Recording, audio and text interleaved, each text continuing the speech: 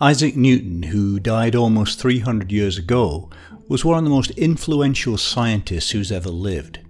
He's famous, among other things, for his work on gravity and the laws of motion, his famous prism experiment, and for being one of the founders of calculus in mathematics.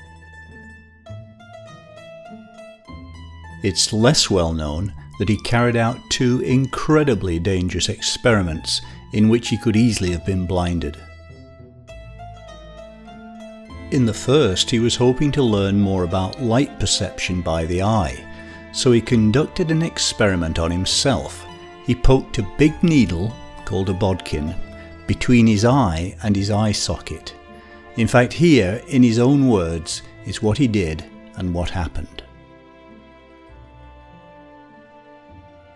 I took a bodkin and put it betwixt my eye and the bone as near to the backside of my eye as I could, and on pressing my eye with the end of it, there appeared several white dark and coloured circles. When I continued to rub my eye with the point of the bodkin, the circles would grow faint and often disappear until I renewed them by moving my eye or the bodkin.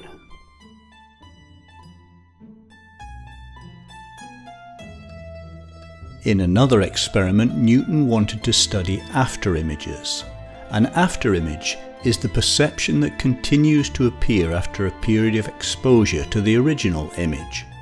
In order to conduct the experiment, Newton had to stare at a bright object. The object he chose to stare at was the sun.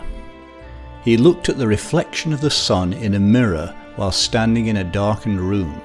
He repeated the experiment several times and began to see the sun's image even when he wasn't looking at the sun he'd created the sun's afterimage. But he also temporarily, for three days, blinded himself in his right eye and continued to experience afterimages for months. Looking at the sun directly or reflected in a mirror is incredibly dangerous and is something that no one should ever do.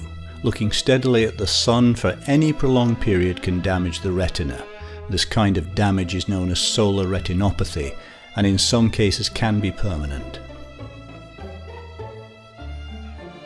Newton may have been a genius, but in both these experiments he was lucky to escape with his vision intact.